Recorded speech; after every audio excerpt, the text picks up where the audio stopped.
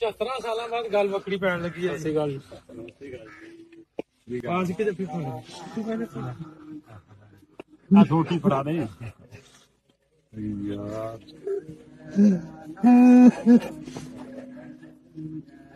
ਬਸ ਬਸ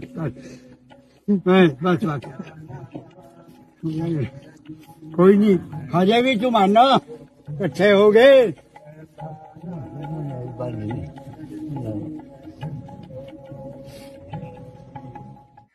74 ਸਾਲਾਂ ਬਾਅਦ ਗੱਲ ਵੱਖਰੀ ਪੈਣ ਲੱਗੀ ਐ ਸਹੀ ਗੱਲ ਪਾਸ ਕਿਤੇ ਫਿਰ ਫੋਨ ਤੂੰ ਕਹਿੰਦੇ ਸੀ ਆ ਛੋਟੀ ਫੜਾ ਦੇ ਯਾਰ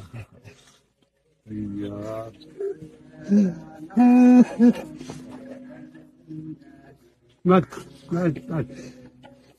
ਬਸ ਬਸ